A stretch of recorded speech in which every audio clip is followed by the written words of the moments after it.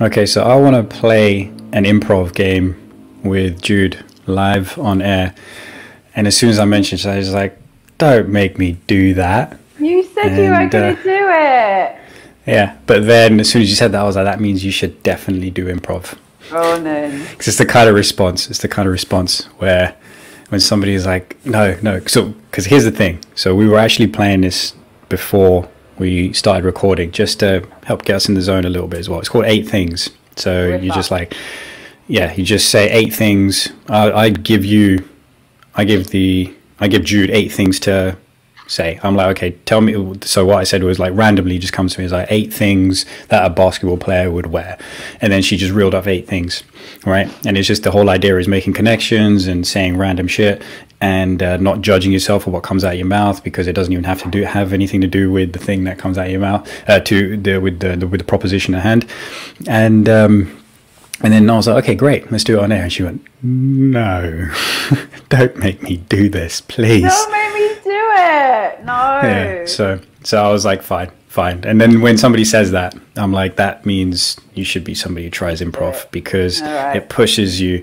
out of your comfort zone. But it's such a it's such a good rush and it's it's a surefire way of hitting flow state, in fact. yeah. Yeah. You were very good It's- at it. When I when I saw you live, you were very good.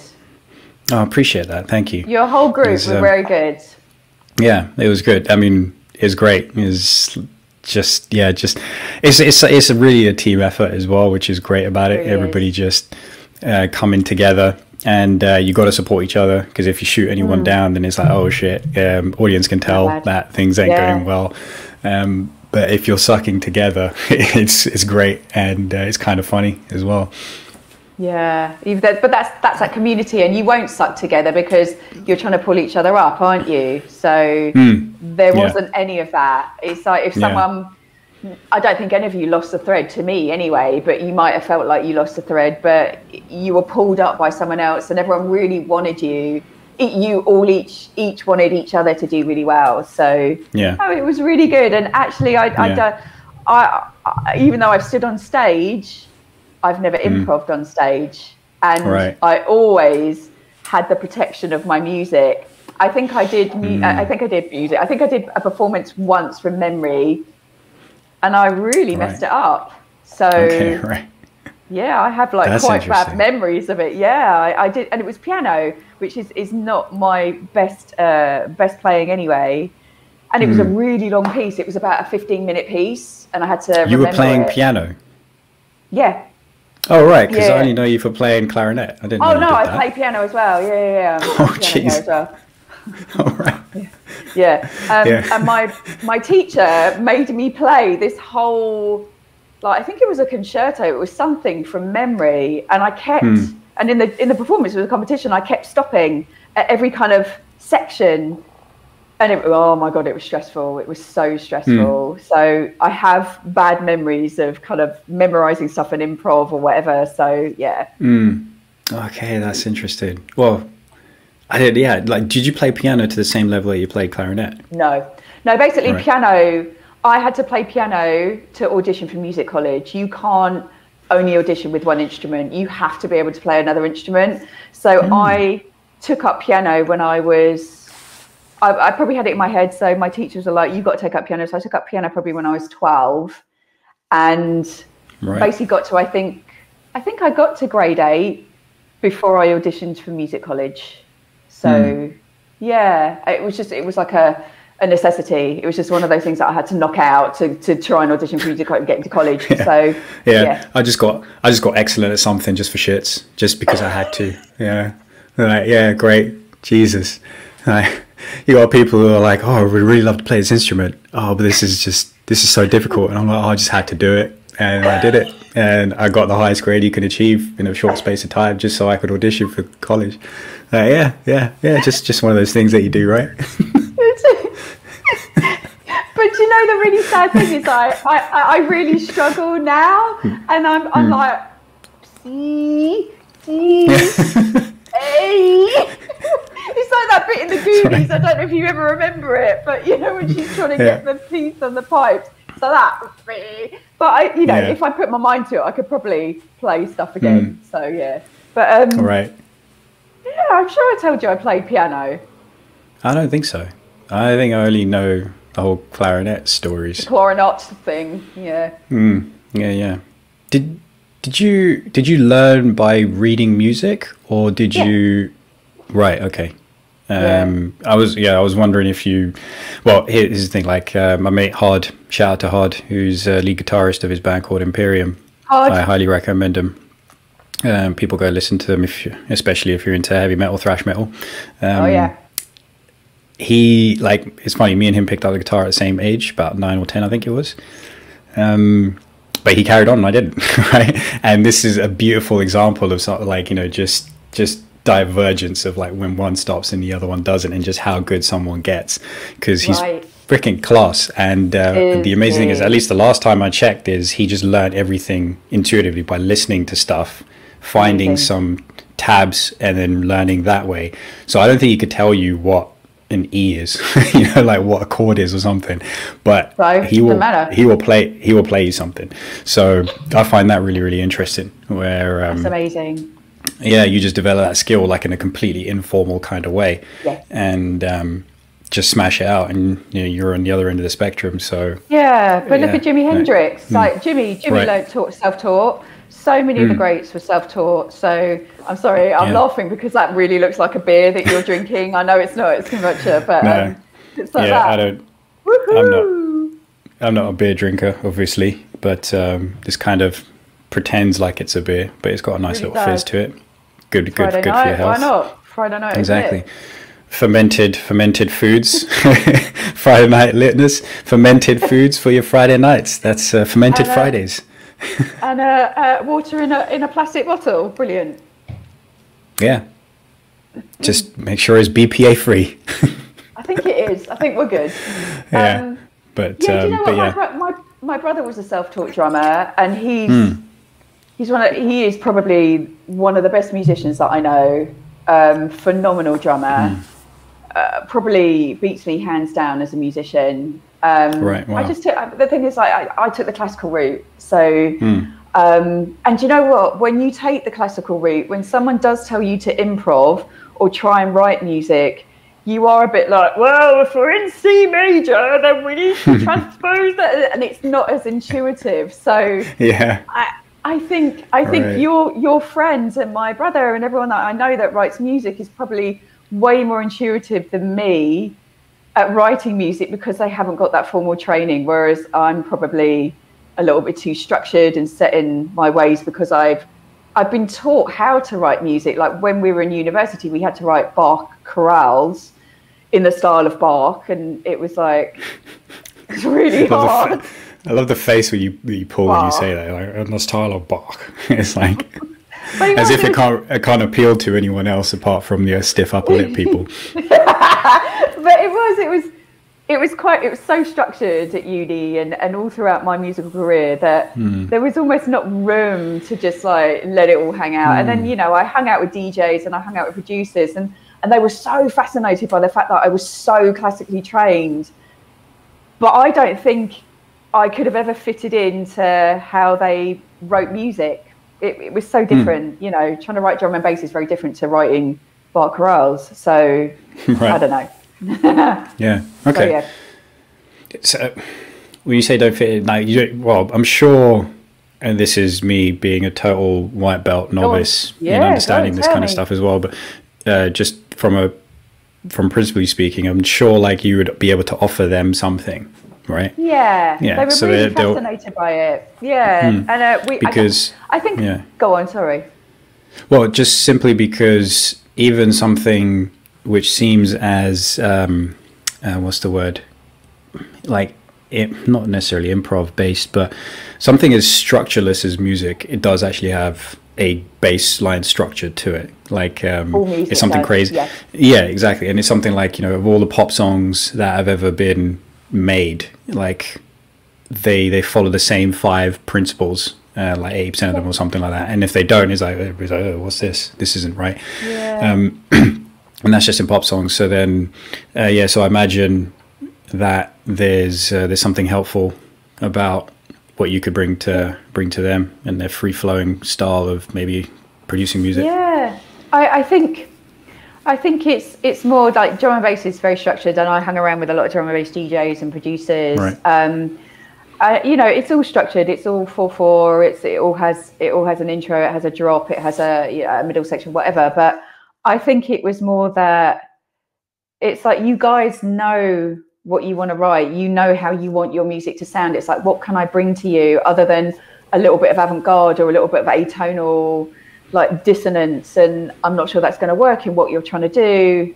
I think it was more that it's like they liked the idea that i was classically trained and i knew how to write music but the reality is is that uh, sometimes it doesn't fit in with how you structure things because i was very sort of like offbeat you know i, I often music that i was playing was in 6-4 or 12-16 or some crazy 3-2 and and and uh, you know in dance genres that you that doesn't work uh, mm. some just dance genres other dance genres like there is electronica out there where they do use weird time signatures and there are some metal bands that use lots of crazy time signatures and hans zimmer has been known to use crazy time signatures as well but right. just just with the people that i was working with it was like 4-4 structured beat drops you know do all that but yeah, mm. I never really did in the end. I, I, I can't remember. They were all like, "Oh yeah, let's do it," and, and then I never really wrote with them. So mm. yeah, it's one of those things. Just hung around with them. Yeah, yeah. Went clubbing. Yeah. Yeah. It's like, yeah, we'll do all this amazing shit. Like, no, let's just get shit faced on a Friday night. yeah. Let's just go out and get pissed. Just not yeah. do this. yeah, yeah. No, that's that's interesting. Um, because yeah, I think I sent you that um cover it was the oh, what's what's the uh, 2001: A Space Odyssey track? What's that called again? Thus spake. oh, I can't remember. Oh, sorry. know. Hang on, sorry. No, no worries. Sorry, no, thought, my phone just went off. No, it's fine. I thought I thought uh, um, I thought you'd remember the name, remember but it was just it was no. But yeah, but I think uh, people know the 2001: A Space Odyssey track. Um, you you yes. be able to easily find yeah. it anyway. But there was that sick like jazzy cover of it as well, and you just weren't yeah. expecting it yes. to to to drop, no. and it was like that is class. Like when you just kind of reimagine something, right?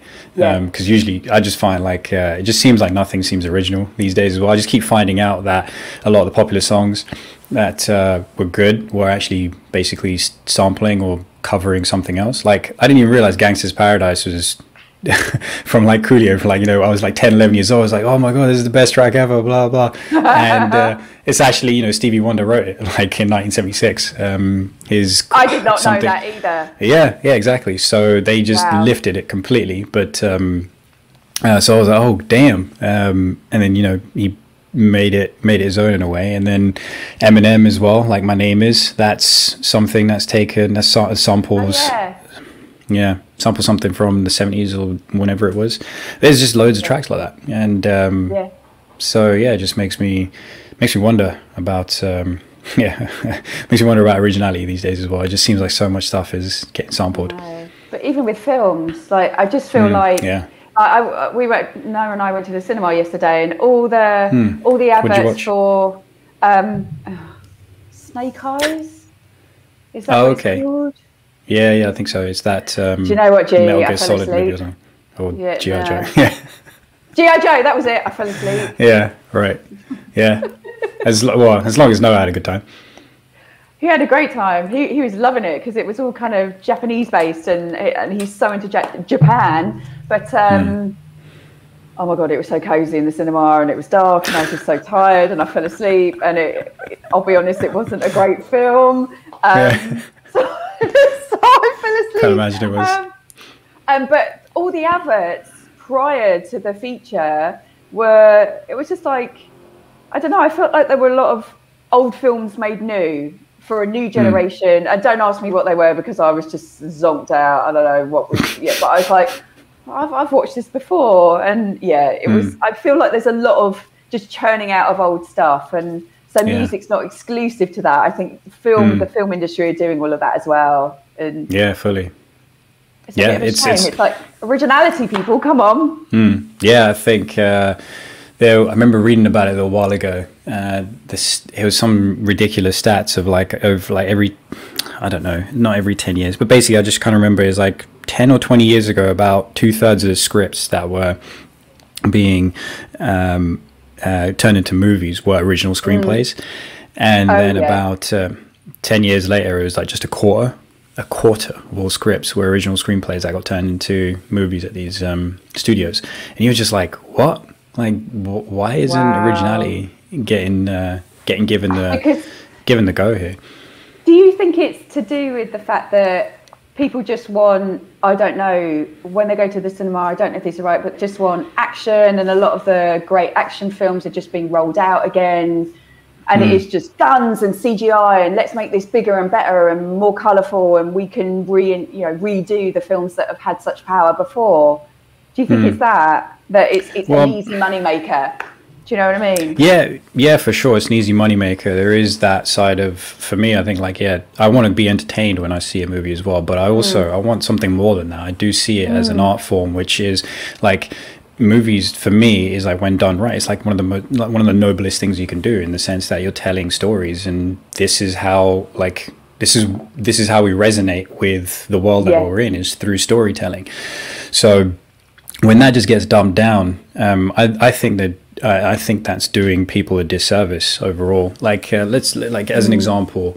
um, yeah, it's constantly like make sure you catch people's attention, just give them some fluff and make them feel good, and then just leave, and then that's it. It's all good. So it's kind of like that whole, uh, like, uh, uh like a it's like a version of just feed them feed them something uh, that gives them a good like dopamine rush and then like not you know don't give them any like kind of substance with it but um, mm. but as an example like you know since podcasts and especially like long form podcasts they've like it's basically showing that there is a desire to consume something with and not just consume something but be involved and engage with something which is mm. um, which has substance, which isn't just like no frills. We're just fulfilling a, a time. Um, uh, we're just fulfilling the basics of entertainment, and then that's it. Um, mm. I think the explosion, like the, the kind of explosion, and um, also maintaining of like the engagement in long form podcasts where people are having discussions and people want to hear more of those type of things. Mm. Is uh, is testament to the fact that there's there's more to it and people want more than just being entertained. Um, but it's kind of like this self-fulfilling prophecy as well, I guess, where you only churn out shit which is supposed to make you feel good in the moment, then you forgot about it the next day. And then you just keep doing that, and then there is no feedback for actually what is truly wanted, whether you actually want those more of those like Chris Nolan type movies and not just cerebral movies, but something with heart, mm. something with soul, something with substance, like good dialogue, proper story structure, not just like here's just a bunch of special effects and some fight scenes, or um, you know, uh, and then you know, go enjoy yourself. Um, mm. So you don't really get that signal, um, which is a bit of a shame. It is a shame. So I don't know. Yeah, so I think that's one of the things um, potentially. Um, I think there's basically not giving viewers enough credit, and also. Um, yeah, I don't know. Yeah, not giving viewers enough credit, and then just kind of there's a there's a lack of uh, like on like proper signal in that feedback loop. There's there's a bunch of noise and not a lot of signal. Mm. If that makes sense. Yeah, I'm I'm kind of wondering what the demographic is of podcasts and who's listening to that and the demographic mm. of people going to films and who's watching these big CGI films and and why there isn't this this market for I don't know the films that we love, like the Christopher mm. Nolan films and the you know the beautiful, like well thought out films, because there are they are few and far between, and mm. you know I'm I'm waiting for the next Tenet or whatever. So mm. yeah, I, and and yesterday really it really showed. It was just like it was just like guns, action, terrible lines, and I was like, oh my yeah. god, this is fucking shit. But Noah, Noah loved it. So it and it was 12 8. Yeah. So it's that kind of mm. it was appealing to that preteen, tween, can't quite get into a 15 uh, mm. generation, I guess. So Yeah, right. Yeah. It's also yeah. yeah, I wonder. It's also like what we mm, what we feeding the kids I know. as well. Like But then what- Tenet was 12 as well, so that's maybe it's not quite right. But yeah, I think there, Hmm. there's not a great selection out there in terms of Hmm. what you can go and watch. It's all you know, even even as adult films, there's like Saw and the latest Hmm. Saw film, and and I'm just like, no, that doesn't really appeal to me. So Hmm. yeah, there's not a huge Yeah. amount of choice. Yeah, yeah, yeah. It just kind of it's kind of like Friends, right? It's like yeah, first four series really good, and after that it starts to become a caricature of itself, and uh, Yeah. and uh, and then it just keeps going. You're like, oh my god, this is this this is getting sad. You know, it happens with every show that runs for too long, and then you know that's Yeah. basically what happens with oh. Uh, with the movies as well, probably looking at it like you know, Fast and Furious, for example. There's like nine of them, Oh and they just get more and more ridiculous. And uh, you're just like, okay, well, I don't know am I do I feel like I've been entertained or do I feel like I've just eaten fast food equivalent of uh, of movies you know? Um, and that's what that's kind of what it feels like. I feel like I've just consumed a bunch of junk and it's like for like while you're doing it it feels all right and then you leave the cinema Okay. or whatever get off the peel yourself off the couch you're like that was I don't feel so good that wasn't great. Yeah. you know it's just yeah that's basically what's happening with uh, with a bunch of movies if i was going to put an analogy to it. It's um it's just fast food movies and uh, so you know we're getting that quick rush and that quick uh, hit but it's not really feeding us anything valuable whereas there's plenty of movies like all right let's just go back like gladiator lord have mercy right? Like what what a film how like the the uh, like how well the acting is done so that you learn so much from the mm-hmm. characters and the way that you look at each other and the way they don't look at each other. Yeah. not just like you know you don't have to get it spoon fed to you. You know it's just like the mm. amount of movies you watch where you're just getting the character spoon fed to you. Is like well okay well I know he's got no substance simply because of the fact he had to spoon feed him to me, right? Yeah, And yeah. like I, you don't need that. You need you want to be able to figure it out as you go along as well, and uh, and like that will help you be engrossed in the ride as well, rather than being told everything, because then that kind of removes you from the experience more too. So it's um uh, yeah so you you compare it to something like that where there's story structure there's characters there's legitimate action there's beautiful cinematography. There's Yeah. excellent script. Yeah. there's perfect pacing of the movie as well. As like it hits so many of the things. And look we're talking about it 20 years later as well. Know. and uh, but not in the kind of oh wasn't that a great fun movie? Because you know there's plenty of movies like for example like kickboxer. You know that's just a jokes movie from the 80s and uh, there's there's plenty of those kinds of things. But uh, but actually looking at it and being like Mm. That was not only like a great experience but it left a mark as well right so Mm. again, like you don't always want that. I do want to be entertained as well. I do want to just go watch a Marvel movie and just be like, oh yeah, that was some cool explosion and shit. But um, but also like just just give me a bit of respect as well. You know, just like give me something more uh, than just uh, just that just that surface level bullshit. Don't give me fast food. You know, give me give me a healthy healthy meal uh, along with it. Yeah.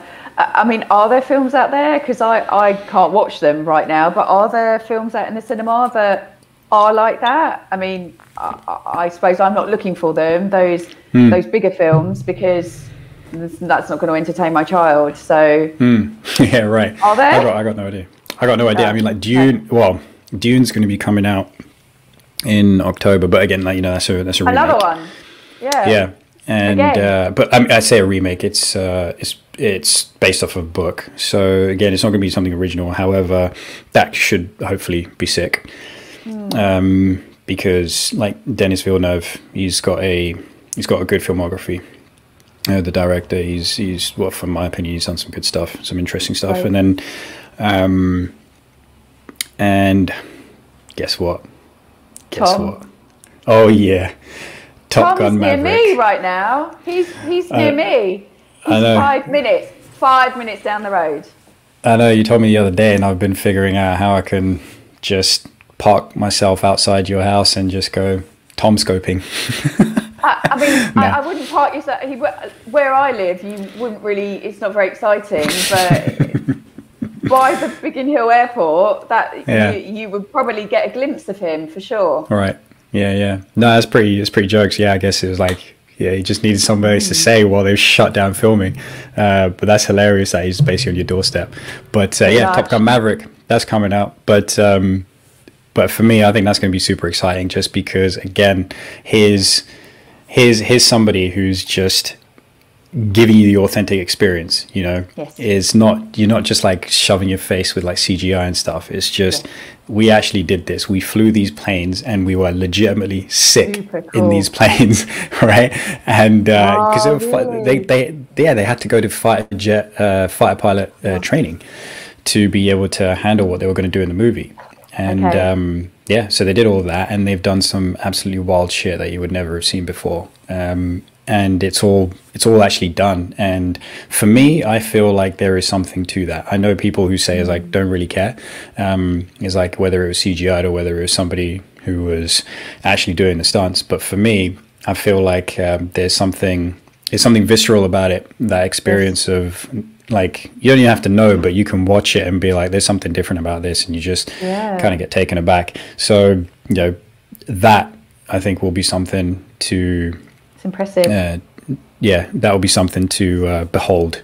Because even though that's going to be like an action movie, I can't imagine the story is going to be fantastic. It'll probably be pretty straightforward, you know. But yeah, I think it's just, I think it's going to be the the purest form of entertainment because you're actually watching somebody like uh, yeah. well i don't want to put a judgment on it but like you it. actually yeah you're just watching somebody actually doing something and i feel like there's mm. just something so visceral about that and um, you know uh, it's it's yeah, it's real. Um, so I think we know that, and I think we recognize that when we kind of see it in this very faint way, even if it's not an obvious thing to us. Is like there's something slightly different about this, and like it's why it's why his like you know if for example if like Mission Impossible did the crazy plane stunts in the last movie in Fallout, and and because like the different one of the differences is like you actually get to see the actor like in the shot. Like you can do the kinds of shots which you would never be able to do if it was made up. And um, or if you needed a stunt double or something. And and that again adds to the experience of the actual thing as well. And so when it's done well when something is done right and that much heart and soul is put into it i think people recognize it because i i'm willing to guarantee that I'm willing to bet a lot that um, if if it was all CGI, there's no way the franchise would have become what it's become. I think the fact that people know that Tom Cruise does these crazy stunts um, also makes it a big part of what it is because you just watch and you go, wow, rather than watching it and be like, oh, that was some cool, that was some cool CGI. It just, I don't think it would have been what it's become, and they wouldn't be making a couple more, and it wouldn't be something that's lasted for 25 years, you know, as a franchise. Right. Yeah. Isn't that interesting as well? That it changes mm. the way you think about something when you know mm. something's real, as opposed to mm. something has been uh, made in a studio by computers. It changes your experience, and mm. that's kind of cool, isn't it? It's like yeah, I think so. It changes how you watch and perceive something. It's like this guy has done this in, in the plane and he's doing it as opposed to, oh, that's a cool graphic and it, yeah. it makes you feel something different. It almost mm. gives you a bit more empathy that there's mm, a real actor right. doing something, and mm. and that's kind of cool as well. It, it, almost makes it more real. Well, it does make it more real, and so yeah. you're going to have more, like I said, empathy, but it's something else that I can't quite can't quite reach or, or get. But that mm. you're you're going to enjoy that experience more. There's, mm. there's, don't get me wrong, it's cool. I love CGI graphics. I think they're great. I think it's so yeah, impressive. Yeah, yeah. But there's nothing quite like seeing someone do their own stunts. Yeah, Tom Cruise, exactly. who's what, 55? How old's Tom Cruise? I mean, that's impressive. He's 58 now, and um, yeah, doing his, like, still doing his stunts. Wow. Yeah, exactly. He's um, oh man, what a hell of a guy. but yeah. Um, but yeah, again, it's like it's not taking anything away because from CGI movies because there's some shit no. that obviously you can do in that which you wouldn't be able to do otherwise, and it's sick. Um, to be able to see that, and it's a different it's a mm. different craft as well in the sense that you know you got somebody in the studio trying to make this look um, uh, look at a certain way. Yeah. And you know that's not taking away from that skill set at all but i think it's an entirely different experience. It's, i don't yeah. think it's level. I think um, i think when we know that that thing that's been done is actually being done is a different thing to knowing that it's um, um, special effects uh, or, or, purely special effects because um, yeah you know even Nolan movies even Tom Cruise movies like they're gonna have some special effects in it because you have to you have to do that. But um, uh, but the actual act of trying to pull the thing off mm. so for me I think it's um, I think it's a different experience and um, I think it's a more visceral experience uh, when that happens yeah yeah. I don't know why, but it's reminding me of like a taste test. It's like the real thing or the fake. Right. I don't know why. But you yeah, know what yeah. I mean? It's that kind of thing. It's yeah, like sure. when you realise that oh, it's it's real. It's it does hmm. something mm. to you. It's like oh my god. So mm. yeah, it, yeah, it's, it's super impressive. Yeah, well, that, yeah, I guess that makes me think of another thing as well because I guess that's my point of view on it, and I feel like that's true for most people. But then mm. you raise an interesting point by that analogy because you've seen it happen where, uh, let's say, uh, I've, I've seen this being done where uh, these people went to a like a food festival and we're trying to pick up like you know they're just showing people uh, what they produce and mm. um, trying to get into restaurants and things like that and they're like look we make gourmet this gourmet that this is all legitimate. Um, and what they were showing them was like we make gourmet like you know fried chicken essentially. And all they'd gone and done was got mcdonald's fry, uh, got kfc sorry. Um, and um, I think that's what they did at least. But essentially, the point being, they went to a fast food chain, a very popular one, whether mm. it was McDonald's or whether it was uh, KFC. They essentially made they dressed their food up to make it look like it was gourmet. So put it on skewers and you know uh, made it look a certain way, presented it on a certain type of uh, right. platter, and um, gave it to people and and they were like, yeah, this is this is great. This is actually legit. I really like what you've done here, you know. So they just got completely fooled by these people dressing this thing up as gourmet and high class, and you know, you want this in your restaurant, and all they did was just take KFC or McDonald's and repackage it and just sell it to them essentially. And um, so yeah, so you know, you raise an interesting point. Maybe I'm just talking completely out my ass and being like, I think you can no. tell the difference.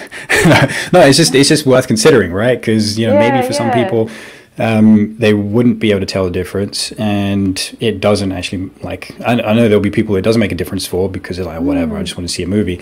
But um, but maybe maybe it's not on that level just because it kind of goes back to what we were talking about a little bit last week of just like you know intuitions are a bit um, scattered skewed more yes. corrupted yes. and you just don't know the value i don't know you don't know worth the the worth of something but yeah maybe it's just maybe it's just that same sort of thing going on on a different level where it's just like you just don't notice as much certain but certain people do certain people don't um, yeah maybe just open it a question uh, there i wonder i think it's also about that if you're the sort of person that's going to investigate what's behind a film and the work gone into it and you and I are probably people that would maybe look into a film. It's like when I watched Tenet, I then wanted to know everything about Tenet because I loved it so mm. much. And mm.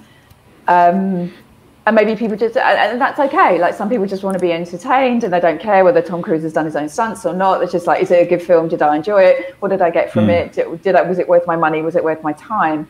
Whereas for you it means something. It's an mm. impressive feat to to do your own stunts and that makes it mm. more beautiful and more authentic for you because hmm. but that that's important for you and and that's perfect. And i think both sides it's perfectly fine.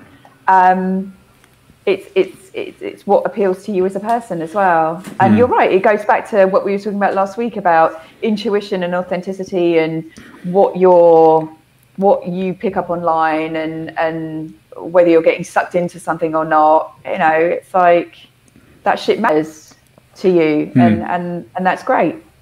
Mm. So yeah. What do you think? Um, it, like is there a similar thing for you like say in the music world because there could be somebody who's like you know composing their own music and then there's there's a lot of digital stuff going on now as well right mm. where there's yeah. plenty of like uh, you know, i guess you could call them composers but all that's like everything is just digitally engineered mm. and um, I don't know. Is there a difference for you in that kind of thing? Like, what do you so, what do you notice? Yeah, is it the same? Is well, first of all, is that is that a similar thing? And then, mm. yeah, what do you make of it? So this is a really interesting thing. When you were saying that, it made me think of Hans Zimmer. Hans Zimmer has actually mm. got a program um, of all his strings and instrumental music that you can buy to program your own music yourself. It's phenomenally expensive, but mm. he's basically recorded. I don't know the ins and outs of it, but he's recorded strings, so you can create music from these recorded strings and he's recorded other stuff so that you could essentially sound a bit like he does and he right. uses it in his own music hmm. so but when you listen to his music yes you know there's an electronic element you know that it's maybe not live orchestral music but it doesn't matter because it's done so well so no i don't mm. i don't really have a problem with it it I think we've talked about this before, but with music, I like what I like. I don't care if it's electronically mm. engineered, and mm. but if I think it sounds really fake and they're trying to do like orchestral strings in particular, like lots of lots of track likes to use strings and and if it sounds fake, I just don't really like it. I think if it's mm. done really well, cool. But yeah. when it sounds a bit a bit mm, iffy, that's when I'm mm-hmm. like, oh. But uh, don't get me wrong, I love live, but I think the electronic guys do live very well as well. So mm. it comes back to preference, and I like what I like. Um, mm. There's nothing quite like watching a live orche- orchestral performance, but at the same time, it's also impressive watching a band Hmm. It's impressive watching producers on stage with all their stuff and they're making all these crazy sounds and it all just merges yeah. together and then somehow they come to somewhere else and you're like, how the fuck did we get here? So I, I think there's beauty in all of it. Um, hmm.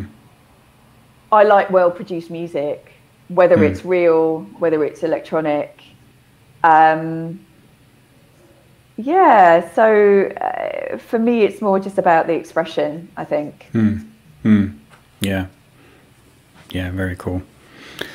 Yeah, I think that's also How about you? Thing. Um, yeah, that's a good yeah. question. I just I, like I don't I don't really know. Um, I don't know okay. if uh, if it does make a difference for me because again I'm just not that well versed. But it's like I just like what I like. Um, and that's so, okay. Yeah, I mean I've got um, eclectic taste of like you know I sent you some stuff by Atmosphere with some hip hop, and then I was just talking mm. about you know Hard's band and listening to some thrash metal and heavy metal. So it goes all, all it goes all the way, right? And um, you know, still still remember Michael Jackson's Dangerous album is 30 years old this year. 30. Is it really? Wow. wow. Yeah, 1991. It's incredible. I think in November it was released. So um, I mean, yeah. Wow. Genius, yeah. So yeah, MJ all time, all time number one, and um, yeah, right. So it's like there's just uh, there's just a variety of taste there, but um, good. Uh, I guess I don't know maybe the the the uh, maybe the running theme through it is like yeah there is originality I guess is like um, yeah. yeah with MJ is like you know the songwriting and everything and like the, the production of the music it was just at another level. Um, well, like yeah, around the era when like Metallica came out as well, it was just pretty much um, that was yeah, that was new. I guess atmosphere mm. for me.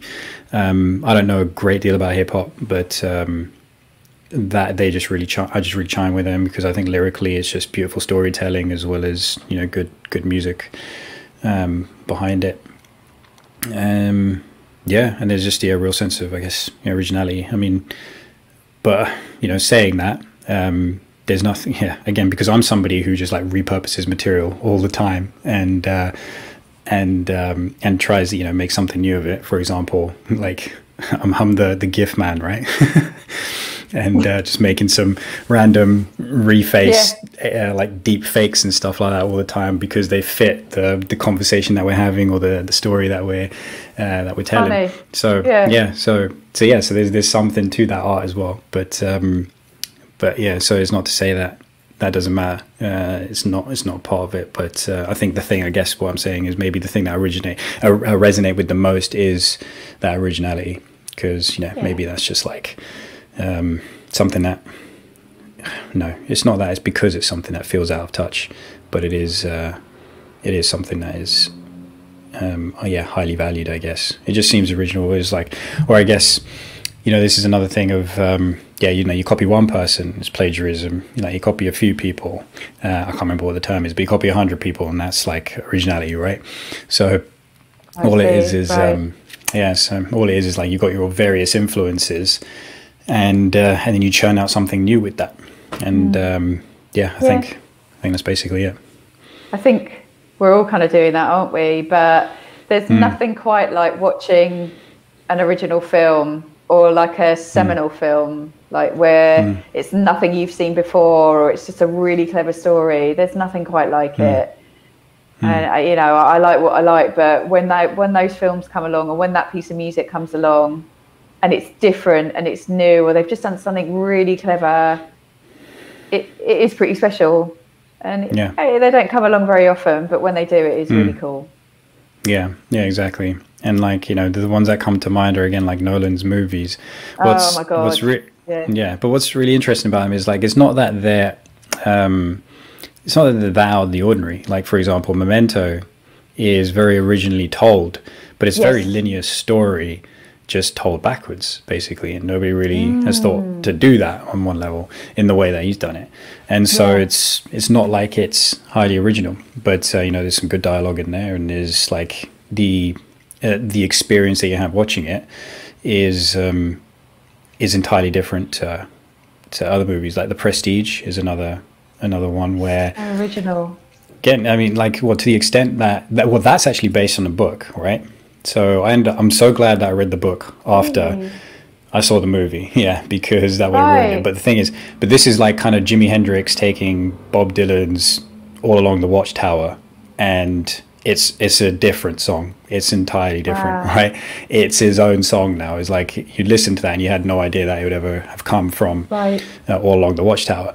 But uh, uh, but so with this, um, with the Prestige, he's yeah he just made it. It's one of those rare instances where not only is the movie better than the book, but it's so much better than the book. Wow. And yeah, because That's again, the experience.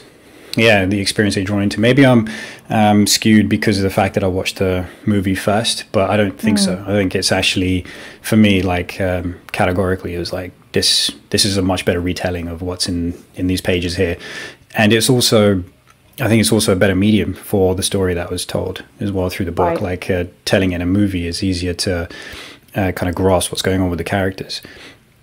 And um, yeah, so that's another one where it's like you know it's a simple story in that it's, it's, it's like rivalry gone bad, gone sour. Um, But um, again, the way that it grips you and the way you're involved as an audience member, you're just like, Such a good film. yeah, you're you are So you, you you you are played exactly how you're supposed to be, uh, how they Yeah. envisioned you getting played, and it's just that I think that's an amazing experience. So Yeah. yeah so again it's like originally told not necessarily an original idea i mean most stories aren't as well like everything that we ever resonate with is time is timeless but um, Yes. it's just new ways it's new ways of telling the same story over and over again so yeah that's what's really that's what's really cool i think Yeah. Oh my god, all his films are amazing.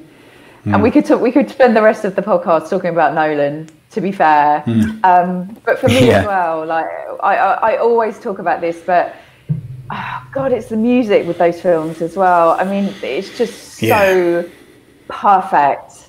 I, I mean, like Inception, that music is just stunning.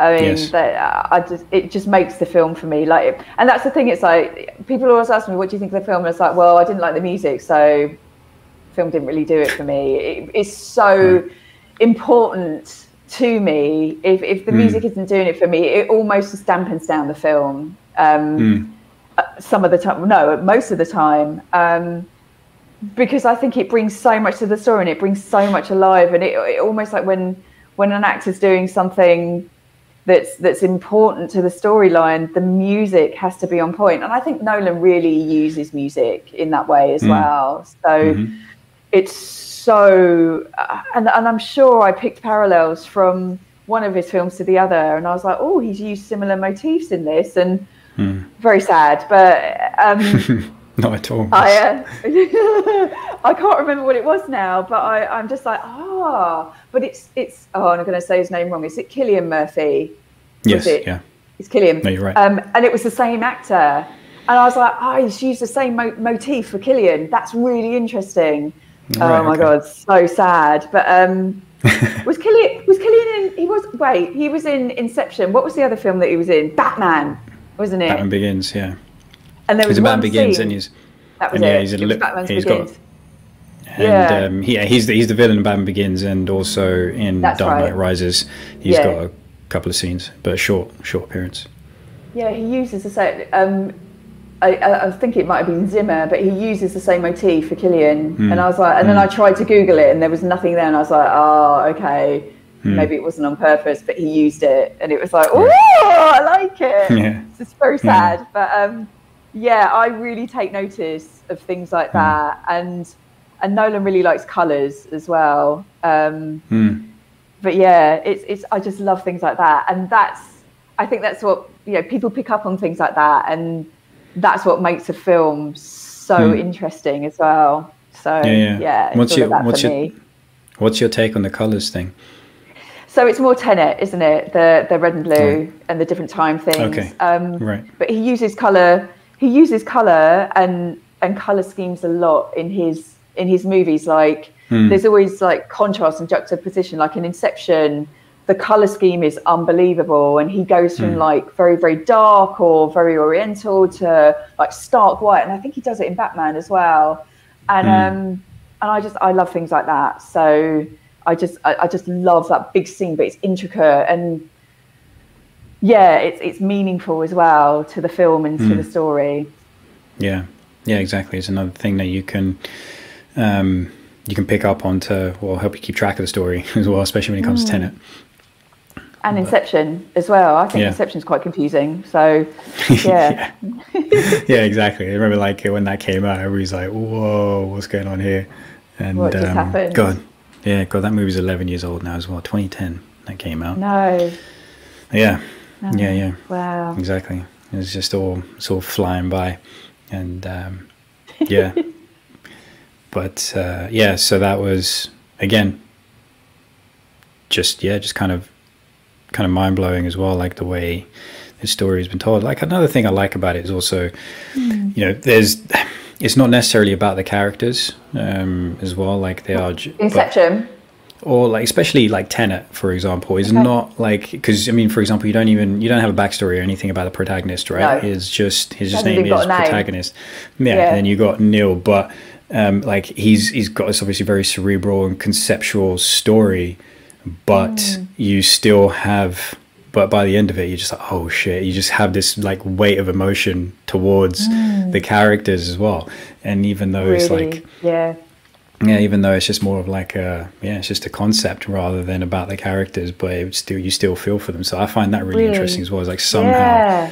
somehow still makes you relate to them, and uh, even though you know it's uh, yeah, it's just it's just it's a lot bigger than them, and it's not yeah. Like I said, I think the best word I can use to describe it is like yeah, you're just putting out a concept on film. Doesn't even give the title character a name. Yeah. So you don't really have something to grip you with him. Is like it's it's yeah. Go on. Sorry, I'm laughing because something just came to mind. Like Hmm. Noah said to me a few months ago, was like, "Is there going to be a Tenet too, Mummy?" And I was like, Hmm. "I don't think so." He was like, "Gurinder should be the main part." Well, that is amazing. No, you you just you just became my best friend, buddy, for life.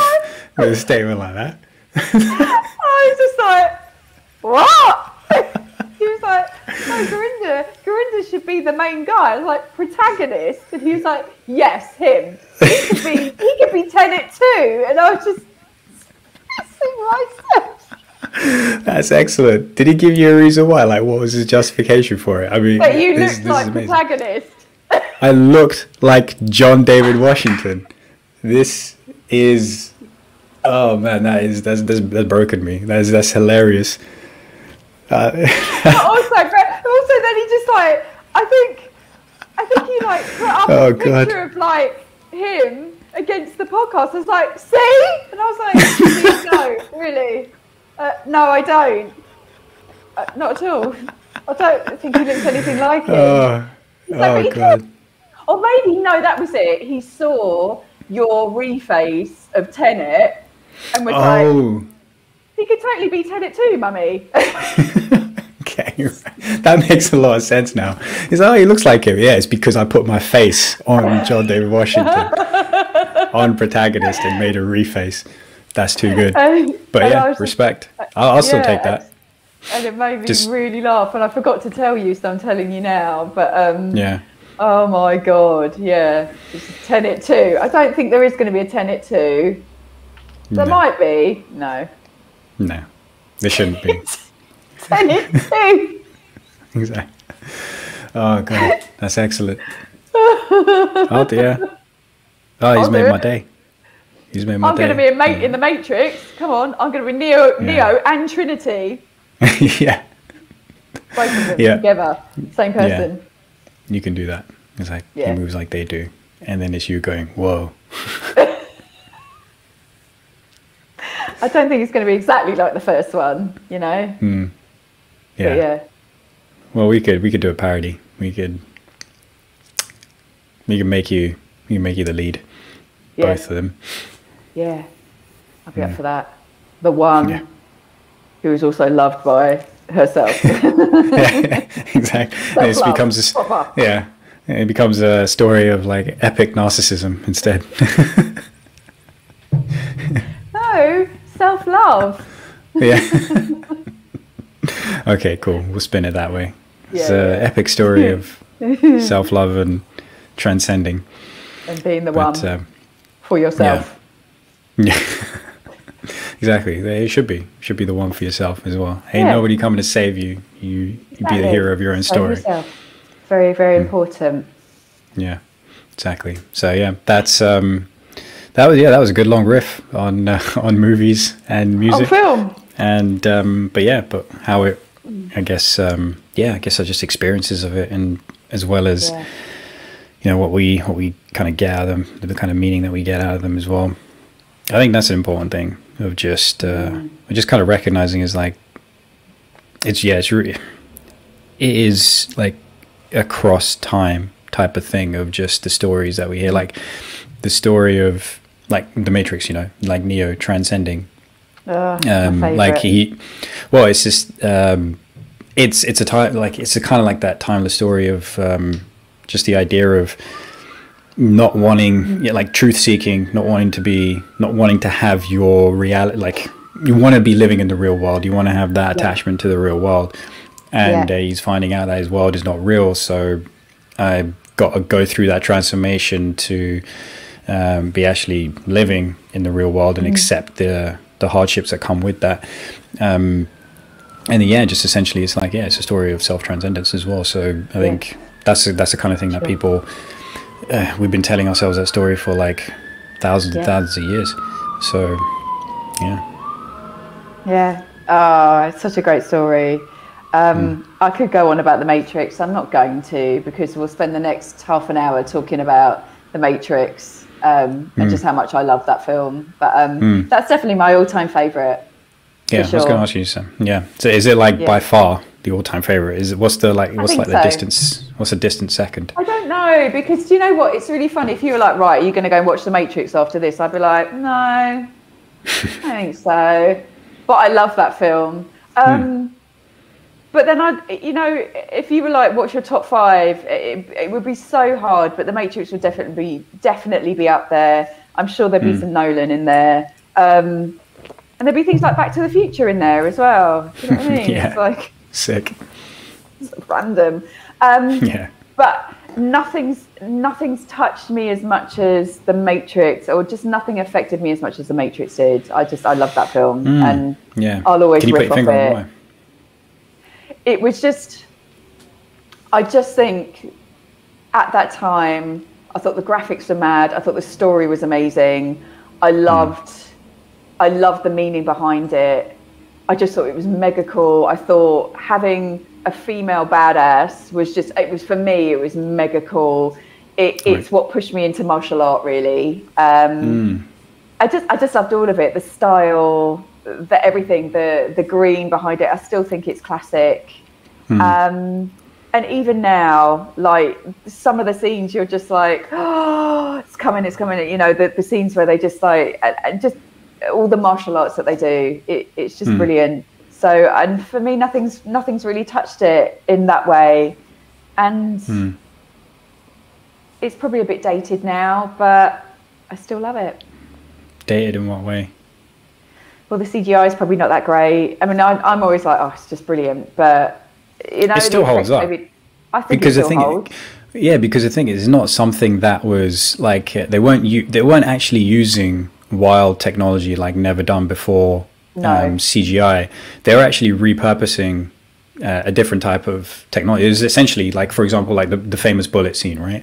It was Mm. just like. Um, photo photography basically is what they did they captured it with photography and clever. um yeah and but the thing about it is is like yeah it's not yeah it's just not dated you're not looking at it going um oh this was it must have been amazing for the time but now it looks like trash No, it's like it actually doesn't. no it's it's it's kind of like okay well this is really like par for the course nowadays as well but Hmm. you still you still again get that kind of experience from it it's like well that was pretty damn cool Yeah. but um because it was just done something i think that was just done differently so i don't um yeah i don't think at the moment i don't think it's actually dead at all but i don't think No. that movie could get dead for any other reason either i think again the fact that we're talking about it 22 years later after its release that means it's a freaking classic you know Yeah, it's such a And, classic. um, and yeah, and uh, but i'm cu- yeah i'm curious if like you know 18 year olds who watch it now um, you know, Gen Z, think. anybody in Gen Yeah. Z is like, are they going to watch that and be blown away like we were, or just really resonate with the story like uh, like we did, um, or is it just going to be like one of those things like yeah, just watch and forget? Um, but yeah, I don't know. I think comes Yeah. comes back to preference, doesn't it? I think if you are really into your films and you investigate the stuff behind it, because there, there so much went into the Matrix, the research, everything, mm. um, and how how they put the film together. I think if you're that kind of film watcher, even as a Gen Z, then you're mm. going to love that film and and mm. know that it's a classic. Whereas if you just want to go to the cinema just to be entertained, then you're not going to be bothered. yeah. know? But also no but I, yeah i think there's i think there's more than preference as well. I think there's again like the you know the timeless story element of it as well and how it's told. And um Yes. uh, i think that's uh, i think that's huge because you know there's there's stuff that you know was you know i guess great i'm just trying to think it's like what was yeah like there's there's plenty of stuff which is great at the time but it gets it does get dated um again i guess i'm thinking of like you know let's say commando arnold schwarzenegger Oh know, my god, so it's like- dated. yeah but is it exactly you watch or it you're even like, oh Total God. Recall, right? Total Recall, Even yeah. Total Like- Recall, like- Schwarzenegger. Right. Yeah, cool. So as it's um again like it's jokes, but also even I don't know. I guess even that is I don't know. Uh, I'd have to I'd have to think about some other examples. But yeah, this stuff that you was like great for the time, but then it becomes becomes dead. So even though we're talking about it, it's like yeah, it's like a classic, but it's also like you know when it just becomes a little bit of a parody of itself over time as well. You know Yeah, sure. um, and that's it. I don't. Th- I don't know if that. Yeah, I can't imagine that movie was like you know took itself seriously anyway. But also, no. it's um, yeah. I don't know. Maybe uh, maybe I could come up with a better example. But essentially, uh, yeah. The point being, like, there's always stuff that's great at the time, but then you know, it just doesn't. Like ten years later, it doesn't. It doesn't hold up. Whereas What about something like The Fifth Element? Do you know what I mean? That might be That's a good question. I actually haven't seen that since Have you not? since sort of the, like the first time I watched it. Actually, I don't think that's held up, if I'm honest. Nice film, Okay. but it didn't help. Right. It didn't hold up. Yeah, I wouldn't put it up there with The Matrix. So Hmm. right. yeah, Would you? Um, yeah. Okay. What do you reckon about uh, Fight Club? classic, absolute classic. Hmm. So you you know what? I haven't, I haven't watched it. Yeah, I do. I mean, but it, it doesn't have loads of graphics, if any. So it is. It's like seven. Hmm. Oh. It's going to hold up. So Right. Okay. Yeah. I Yeah. don't even mean in terms of like. Uh, I don't even mean in terms of graphics, right? I just mean like just this, like the whole No, experience of it itself and yeah, like the story itself. Yeah, it's like Yeah, seven yeah. And, and all of those sort of films for me. It's like The Shawshank. It, you know, it's, it's absolute classic film. It's going to Mm. Yes. hold. T- it's going to stand the test of time for me. Yeah. Um, Yeah. And I'm sure for a lot of people. So, Hundred percent. but that that's that. Then we're kind of heading into that gladiator realm of just beautifully structured, well thought out films. Hmm. Um, it's like The Shining. still classic. Yeah. Okay. You know, I don't That- actually. I haven't. I haven't seen The Shining. seen it. So Still that scary. to- yeah. That. Yeah. That needs to get done. Um, Um, equally as good Yeah. as the book as well. So that's another thing. It's Right. like I, I love reading the book, for, and I tend to read the book before I watch the film. Um, Hmm. And The Shining was definitely one of them. And the film is equally and as well done as the book, and pretty much has the story of the book well told and retold quite accurately. So I quite like that. yeah. Okay. Um, so that's definitely stood the test of time, even though 1970s, no graphics, nothing, still damn scary. So clever. Yeah. just dropped a bunch of shit. Hopefully, I didn't make too much noise. Did you just drop your kombucha? No, no, God, no. That would, that'd be a that'd be a nightmare. Just like trying to clean that up off the ground. Um, no, no, just uh, the box that the mic comes in. I Oh just dear. trashed it all over the floor, but it's fine. Um, Okay. Yeah, yeah. I don't know. Yeah, there's. Yeah, there's plenty. Because yeah, because the interesting thing was, um, yeah, funny enough, like had a similar conversation with my housemate who reckons like who's on the fence about Fight Club being uh, being something that stands the test of time, Oh, even though it's like really? you know. Yeah, so but I was like, nah, I just I just don't agree. I'm just like uh, I think because the story, That- yeah, because the story that it tells um, still stands now. Because I mean, like the whole famous scene of um, uh, Brad Pitt, you know, just talking to all the guys is like, you know, um, you got sold, uh, you got told that you'll become movie stars and rock stars, but you won't. You know, um, we like just it's like our Great Depression, uh, our, our Great War is a spiritual war. Our Great Depression is our lives, and it's like, bam, that is so deep that time, and it's especially true, I think, now as well. Right now, uh, yeah. but again, it's like you know we're like the lost generation. I still think that's happening. In fact, it's probably even getting worse as well with some of the stats you see about um, you know young boys and young men and like how you know they're struggling in life. yeah. Um, and uh, so I think it I think it applies even more now. And um, again, it's that's a kind of story that also stands the test of time as well. With just people who are searching for something to have meaning and something that's bigger than themselves. And the way that Yeah. uniquely tells a story is that they all get involved in something which uh, makes them feel like they've got purpose, makes them feel Yeah. like uh, they've got meaning.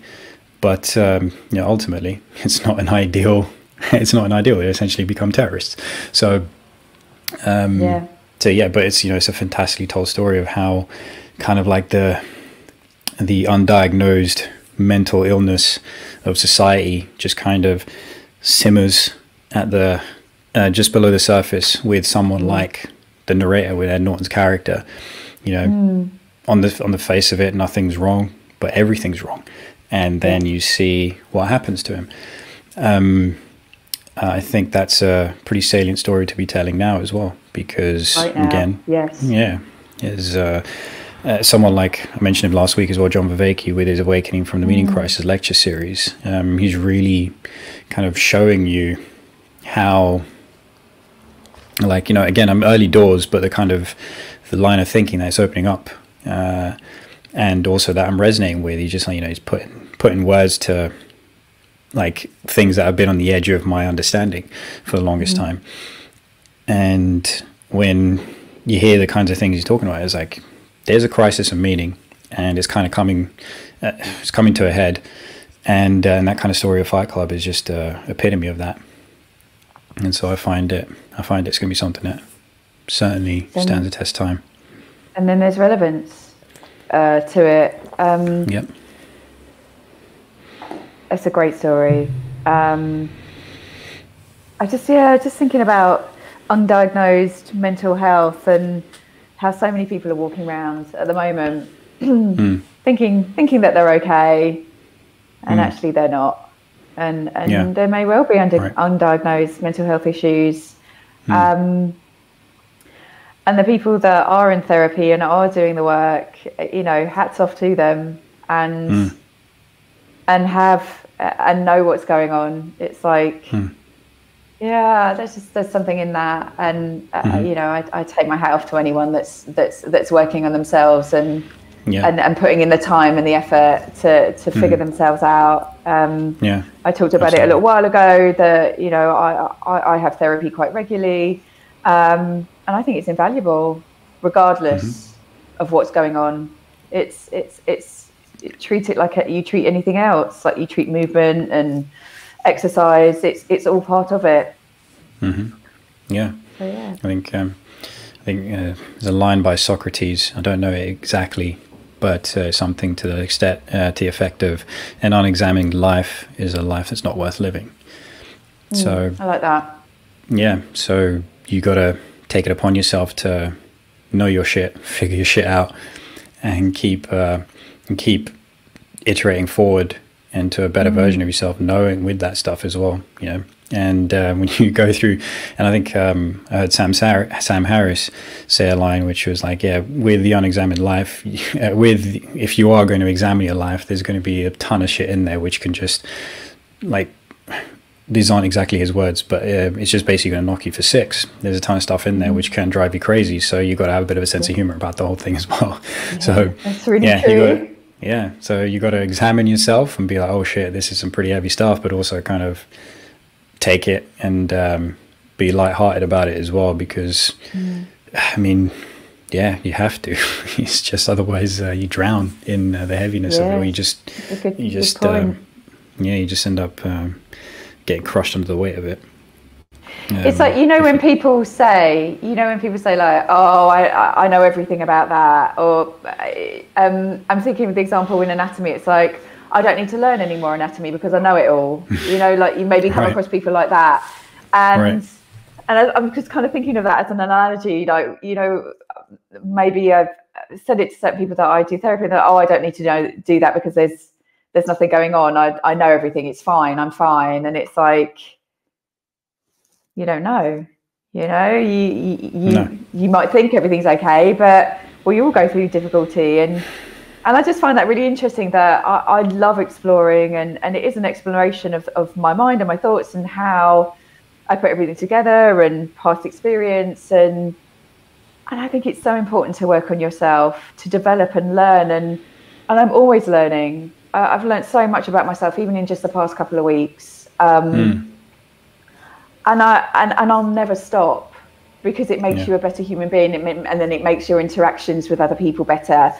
It's like I'll never know enough about anatomy because hmm. there's just so much to know, and and it's going to be a lifelong learning experience that I'm never ever going to get a handle on because just when I think I am, I'll learn something else or I'll Yeah. find something else to understand and and that's pretty cool and I feel like mind works a lot like that. It's like you're never going to unravel everything but you mm-hmm. can only strive to to become the best version of yourself week in week out, I think. yes. Yeah. So that's my take on it. yeah 100% and mm-hmm. people are walking around thinking that they're fine and that they don't need to work on their shit and mm. i think everyone does i think it's so so important. And yes. regardless of whether you're working through something or you're not therapy is really important. Um, talking is really important. Communication is really important. So that's my take on it. I will always cheerlead and champion therapy. I mean we we we teach therapy. We just teach physical therapy. So this is mind therapy and and uh, it saddens me that people will be like what are you doing that for? It's like because i want to work on my brain. I want to work on my mind. So it's mega important. Yeah there's Yeah. again it comes back to that line the unexamined life. And for anybody who thinks that um i mean yeah you can be fine. It's like you know anybody's like thinks that you're fine it's just I think yeah things can be fine but it's like iterating to a to better version of yourself because there, there's patterns that we got stuck in. So we have to build a certain level of awareness around the things that are genuinely serving us and the things that are not. And I find that um, I don't th- yeah I don't think it's uh, becoming of a person to to just like you know it's like there's there's nothing to kind of like consider here or to think about here and um, but truly just looking at like all the i guess like yeah just doing a bit of an audit and just kind of looking at all the things that you do do is like okay well what am i doing this for? Is it worth my time? And uh, what's it facilitating in my life you know? Um, and uh, and so even if it doesn't have to explicitly be like you know going to therapy uh, it can be just doing your own version of it is just like yeah just Yes. kind of like, just just building up levels of awareness so that you can start going oh right i realize i've got this pattern and i need to change that pattern up you know? Um Yeah. because you know there's bits of there's parts of it that aren't serving me very well. So yeah 100% is on whatever level it is um just yeah constantly be working on on working on uh, living a better life for yourself because the the the kind of like the magnitude of that the repercussions of that are, are greater than we ever imagined um you know in a simple like you know one of the things i mentioned to you before before we started recording was the um like earlier today like the temporal discounting right What does that mean? it just basically means um, putting less salience on things that are in the future. So temporal being time, discounting meaning literally discounting the value of the thing that you see in the future. So the way that it kind of uh, kind of looks is okay. The thing that's right in front of you is quite salient, um, and right you know in the here and now is important to your existence. Uh, but then uh, we don't think about what's important to our existence a day from now, uh, well, a week from now, a month from now, five years from now, ten years from now. So uh, we we discount that.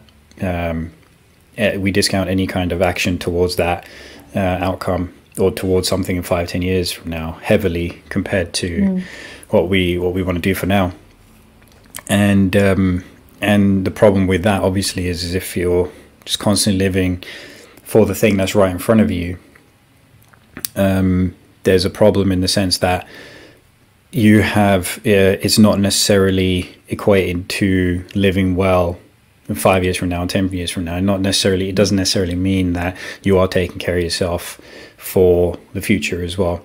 So, um, but also because like because there's the further something out is to you like okay that moment in time me in five years ten years from now can look like kind of anything right you got no idea potentially what it could look like um, and uh, there's a million different ways that that future could transpire and the probability Yes. of each one of those futures happening is like infinitesimally small so because it's so small you just start to think that it's not worth like you don't explicitly think it but y- um, your kind of like sense making machinery is just going yeah it doesn't matter because whatever that thing is in the future is so improbable that it's not worth me thinking about the only thing i should think about is what's happening in front of me right now and uh, yeah so the problem there is um, you get to five years from now you get to 10 years from now and uh, you haven't really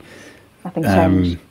yeah, well, nothing's changed, or you haven't really planned, or you haven't really executed in a way which leaves you better off than you were the day before, and the five Right. years before that, and the ten years before that. So we have to have that ability to look at what's important to us now, but also look at what's important to us from five years from now and ten years from now, and use that as like kind of guiding principles, because doing things that are important for the future also provide some level of purpose for today as well Yes. if uh, if that can make sense so yeah. Yeah so it's kind of it's having that right balance because like you don't want to live completely in the future you're just going to be anxious.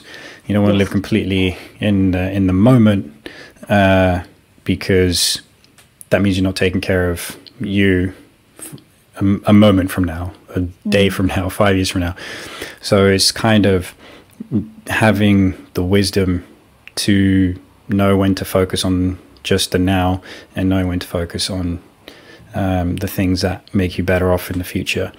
And uh, essentially, it's kind of like doing things which make you feel like you're going to be better off tomorrow than you were today, you know, each time. Yeah. And just in whatever small way that is, because it's those little things that add up, that compound over time.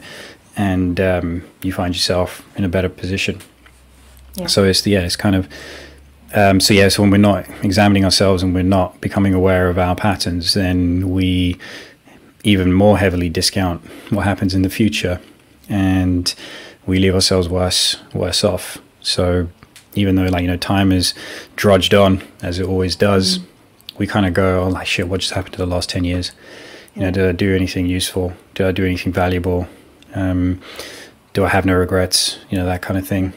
Um, nice. So it's it's it's finding that balance and just kind of having that wherewithal and that awareness to keep focusing on both, like what where you are right now, and where you're going to, and then acting accordingly.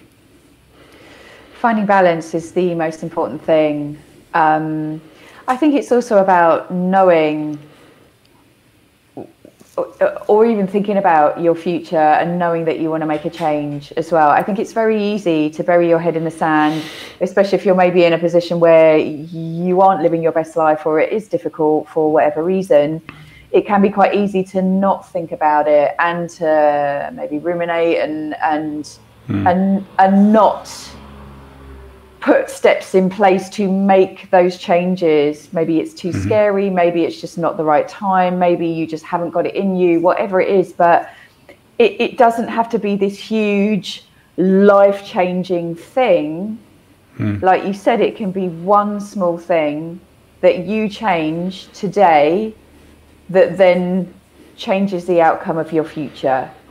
Mm. It could be that you drink a glass of water every morning and that then turns into you drink a glass of glass of water every morning, and instead of looking at your phone, you do a gratitude journal, and suddenly mm. that becomes less anxiety driven because you're doing something for yourself rather than looking at your phone, which makes you anxious and then sets you up, day, up for your day in a way that isn't beneficial for you.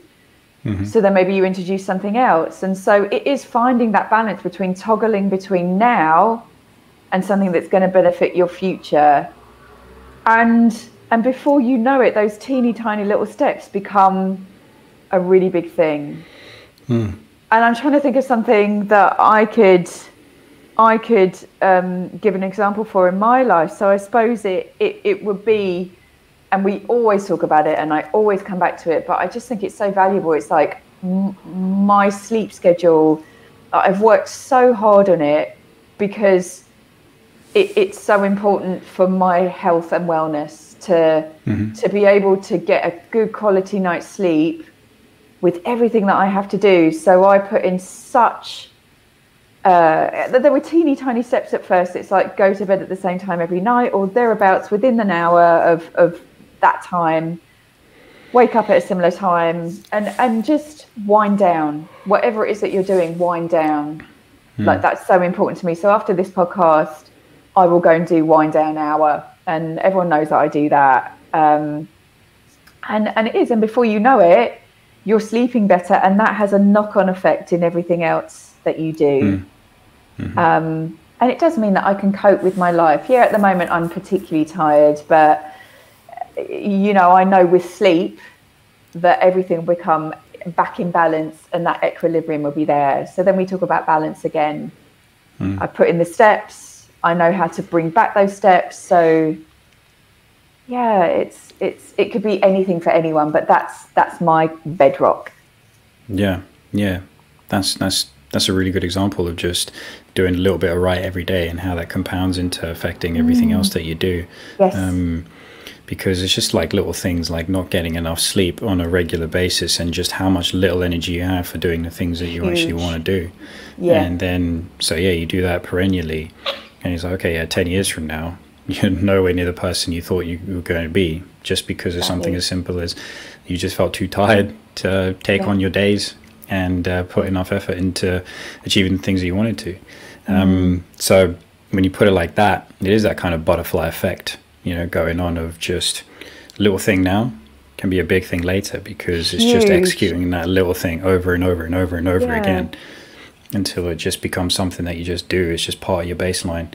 Yeah. And then lo and behold, 10 years from now, like, you know, if it comes down to sleep, it's like, okay, I'm not, I'm not struggling with uh, hypertension and potentially, yeah. um, uh, what I like in getting diagnosed for uh, like early dementia or something because I got Yeah. enough sleep and I was able to, uh, yeah, just from a physical point of view, I was able to do the um, amount of rest that I needed for Mm. uh, for me to make sure that I was healthy later on in life and healthier now.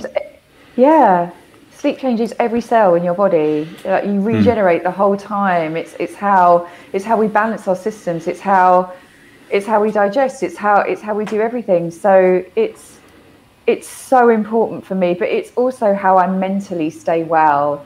If I hmm. haven't had enough sleep, I cannot function, and I I can't. How am I supposed to function and give people a good session or look after my child if I haven't if I haven't had that sleep. So hmm. It's like, and, and but I've learnt about sleep over the last couple of years, thanks to you, Dr. Huberman, like every everyone that I study, and and I now know just how important and just what to do to get that good night's rest. And and hmm. it's it's never going to change. Yes, yes, I'm going to have nights where I get less sleep, I'm out, whatever. But for the most part, I have my schedule in place, and that probably won't change hmm. Because it's so important to me um, and my Yeah. life, and it has such a knock-on effect onto other people that are in my life as well. Yeah. Well, that, you know, that's that's that's a big enough reason as well. If it's like, okay, if you don't give a shit about yourself, do you give a shit about some people? It's like, yeah, I do. Exactly. Right. do Yeah, it for yeah. them. Yeah, it make it them. make it make it about them. Like find any reason which you can to to to do that. And that's the Yes. like for a lot of people, that's a that's a hard thing to do. Of just kind of it's like I always go back to it. Is like if you can't fill your own cup, how can you expect to fill everybody else's? Um, If you've got to be there for other people, so you know you've got you got a preteen son to look after, Yes. uh, or be there for at least, especially while now you know he's going to go through a transition of the next be few there. years. Yes, So it's like you just got to be at your be alert to all the crazy shit that's probably going to happen as a result of that, and, and um, intuition. so, yeah, You've got to be able to tap into intuition that we talked about last time, and and understand what's going on with him. So you have to be alert for that.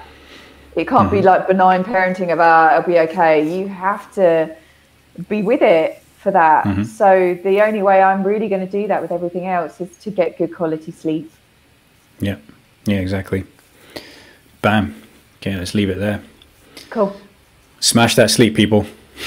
Please, I'll say it every week until you're tired of me saying it, but I will. yeah yeah so yeah a bit of a different episode today as well just like getting some musings around music and movies but also you know just like what we learn out of them and what we think about them so um yeah we're curious to know what you guys think about it as well. You know everybody tuned in. Is like uh, tell us what you think of the episode. Tell us about your top five movies um, send them over to us at uh, evolve achieve thrive on instagram and uh, or put it in the comments below in the youtube video and um, if you're enjoying what we're talking about, if you're enjoying the show, please share it with other people. That's the best way to um, help us grow, along with subscribing to the show as well, because it tells the uh, all these podcasts and YouTube algorithms that uh, we're worth listening to.